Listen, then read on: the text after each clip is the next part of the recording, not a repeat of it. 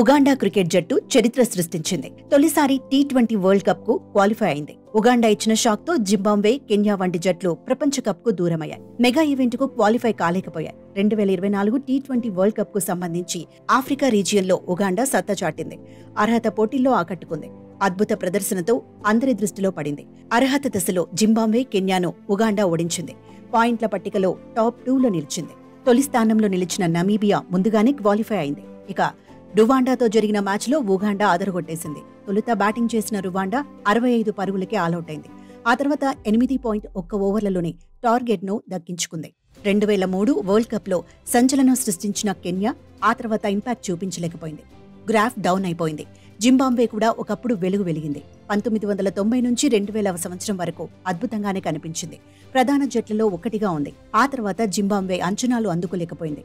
ఆఖరికి ఉగాండాకు కూడా పోటీ ఇవ్వలేకపోయింది. అయినా ఉగాండాను తక్కువ అంచనా వేసే పరిస్థితి లేదు.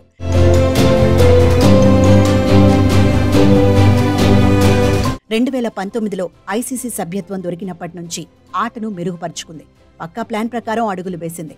అవకాశాలను వినియోగించుకుంది. టీ ట్వంటీ వరల్డ్ కప్ లోనూ సంచలనాలు టార్గెట్గా బరిలో దిగబోతోంది. ఇప్పటి వరకు ఉగాండా ఎనభై ఒక్క మ్యాచ్ల్లో బరిలో దిగింది. అరవై ఒక్క మ్యాచ్ల్లో గెలిచింది. పదిహేడు మ్యాచ్ల్లో కంగుతింది. టీ ట్వంటీ మ్యాచ్ల ట్రాక్ రికార్డ్ బెటర్గానే ఉంది. మొత్తానికి టీ ట్వంటీ వరల్డ్ కప్ బరిలో దిగే ఇరవై జట్లేవో తేలిపోయింది. వెస్టిండీస్ అమెరికా మెగా ఈవెంట్కు ఆతిథ్యం ఇవ్వనున్నాయి. గత టీ ట్వంటీ వరల్డ్ కప్లో టాప్ ఎయిట్లో ఉన్న Australia England India Netherlands New Zealand Pakistan South Africa Sri Lanka ఢీకొట్టబోతున్నాయి. Rankings ఆధారంగా ఆఫ్ఘనిస్తాన్ బంగ్లాదేశ్ కూడా టీ ట్వంటీ వరల్డ్ కప్కు అర్హత సాధించాయి. అమెరికాస్ క్వాలిఫైయర్గా కెనడా నిలిచింది. ఆసియా క్వాలిఫైర్ జట్టుగా నేపాల్ ఒమన్ ఉన్నాయి. ఇతర రీజియన్ల నుంచి Papua New Guinea island Scotland Namibia రేస్లో నిలిచాయి.